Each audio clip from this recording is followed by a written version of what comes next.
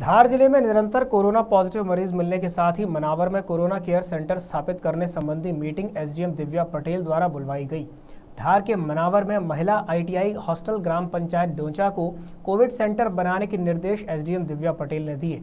अब कोविड के कम लक्षण वाले मरीजों को इस नए कोविड सेंटर में ही शिफ्ट किया जाएगा।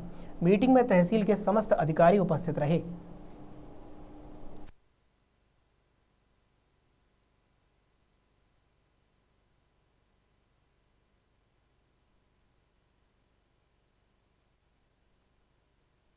Divya Patel S D M madam आज की बैठक के बारे में?